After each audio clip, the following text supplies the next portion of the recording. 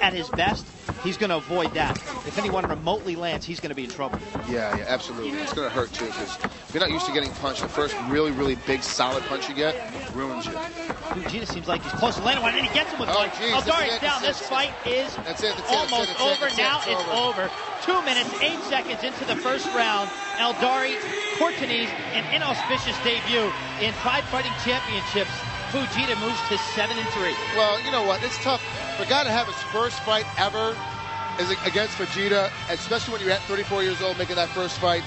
You want to step into against a guy like like Fujita. That's a, that's a tough bout for anybody to step into, let alone a guy who's never fought before. You know, it, it's you got to give him props for stepping into the stepping into the ring and really trying to have a fight, really trying to make this happen.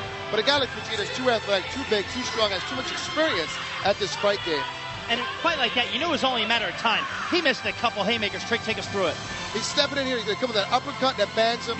He already he turned. That was the first big punch to hit him right on the nose. He's never been hit before. I mean, I'm sure pain shot all the way through his face. The first time I really got hit in my nose, it sent shockwaves through my body. Thank goodness, though, I was so young.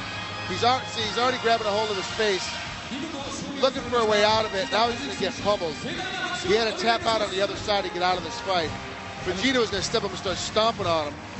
As you see him go up here, the ref has to keep him from hitting him. It, you know, really.